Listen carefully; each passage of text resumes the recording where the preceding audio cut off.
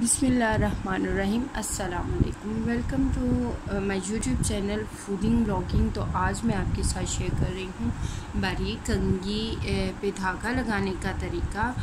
हमारे सरों पे, हमारे बच्चों के सरों पे मोस्टली ऐसा होता है कि गर्मी की वजह से जुएँ पड़ जाती हैं और जब बच्चे स्कूल जाते हैं, पसीने की वजह से बच्चों के सरों पे जुएँ पड़ जाती हैं, एक दूसरे बच्चों से जुएँ शिफ्ट होती हैं और फिर बच्चे घर पे ले आते हैं और इन जुओं का ख़ात्मा करने के लिए हम, हमारे पास सबसे देसी टोटका है ये जो भरी कंगी होती है और बहुत पुराना टोटका है, ये बहुत पुराना मतलब कि हर घर में भरी कंगी तो लाजमी होती है, चाहे जितने मर्ज़ी केमिकल्स जितने मर्ज़ी शैम्पू यूज़ किए जाएँ और लेकिन फिर भी ये कंगी जो है, ये लाजमी होती है और इसको यूज़ करने का जो तरीका होता है ना, वो भी थोड़ा सा डिफरेंट होता है। अगर हम इस तरीके से इसको यूज़ करेंगे तो हमारे सर से जो जुएँ हैं, लीखे हैं और जुओं के अंडे हैं, वो सब ख़त्म हो जाएँगे और उसके लिए ये होता है कि हमें रेगुलर इसका यूज़ करना होता है। जैसे डेली बेस पे हम बहुत ज़्यादा टाइम नहीं तो सिर्फ़ पाँच मिनट हम अगर इसको अपने सर पे फेर लेते हैं और जुएँ लीखें निकल जाती हैं। जब हम डेली बेस पे इसको यूज़ करते हैं तो हमारे सर जो होते हैं, वो साफ़ हो जाते हैं और शर्मिंदगी का बायस भी नहीं बनते। तो यहाँ पे मैंने ले लिया है धागा। धागा जो है, वो मैंने थोड़ा ज़्यादा लिया है और ज़्यादा भी लेना है और इसको डबल लेना है धागे को।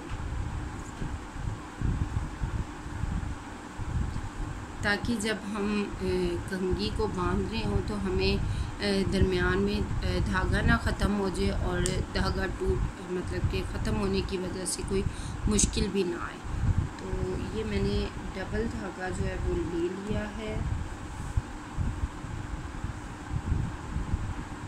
और अब हम इसको किस तरह से अप्लाई करेंगे, इसको इस तरह से अप्लाई करेंगे, सबसे पहले यहाँ पे इस तरह हम इसको डालेंगे। डाल के फिर यहाँ पे जो है ना हम यहाँ से इस पर ना इस तरह से थोड़े से बल डाल देंगे और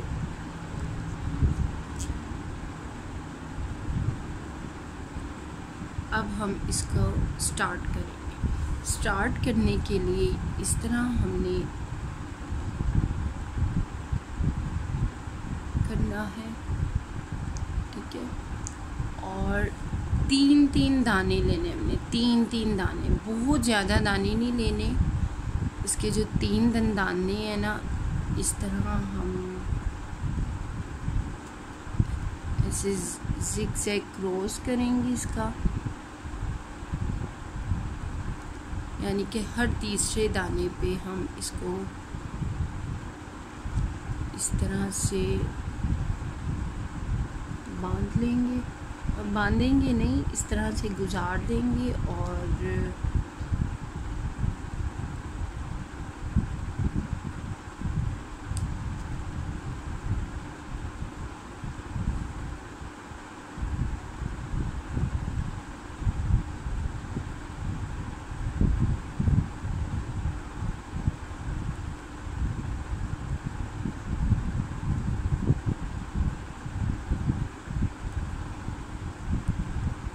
और जो धागे ना इसको थोड़ा सा हमने टाइट रखना है।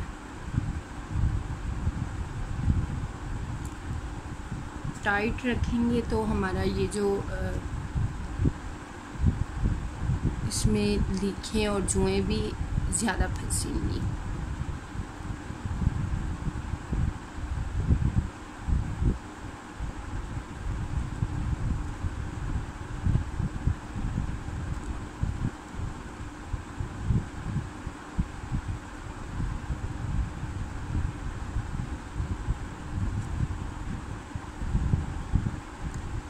ऑपोज़िट का कलर मैंने इसीलिए सिलेक्ट किया है ताकि आपको समझने में थोड़ी आसानी हो। आप ये इसको पीछे से भी देख सकते हैं, पीछे से इस तरह हो रहा है और आगे से ये इस तरह से ठीक है, और इसी तरह मैं इसको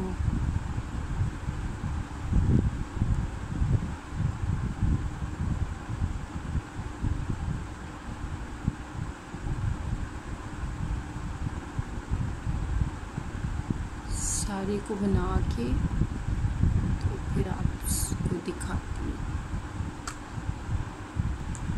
तो यहाँ पे आप देख सकते हैं कि पूरा जो आ, पूरी भरी कंगी के धंदानों पे मैंने इस तरह से धागे को जिक जैक क्रॉस कर लगा लिए है और अब ये जो इसका लास्ट है ना इसको अब हम रिपीट करेंगे। है और रिपीट करके जो हिस्से रह गए ना, उसको कवर करेंगे लाइक दिस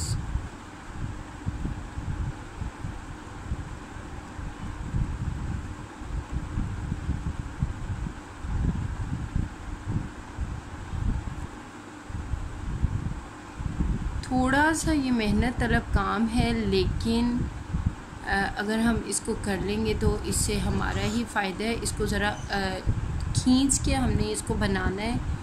बिल्कुल लूज़ लूज़ हमने इसको बिल्कुल भी नहीं बनाना।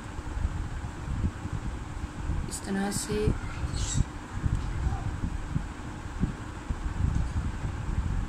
खींच के हम इसे बनाएँगे।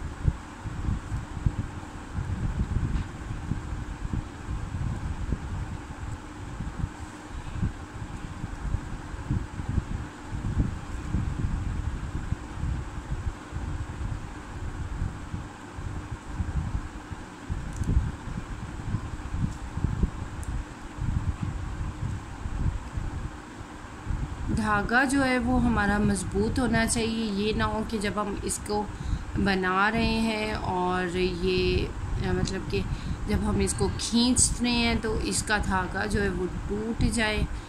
फिर ये थोड़ा सा मुश्किल होगी, परेशानी होगी और हमें ये काम दोबारा से करना पड़ेगा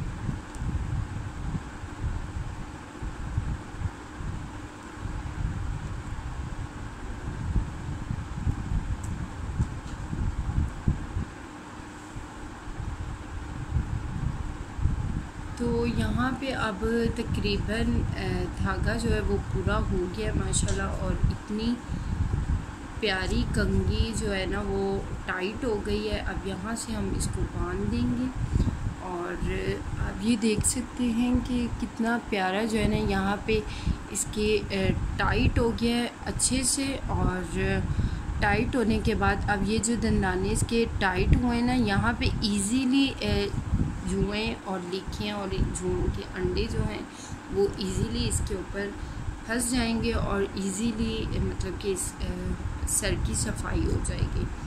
तो उम्मीद करती हूँ कि आपको आज की मेरी ये वीडियो पसंद आई होगी और बहुत इन्फॉर्मेटिव होगी आपके लिए ये वीडियो।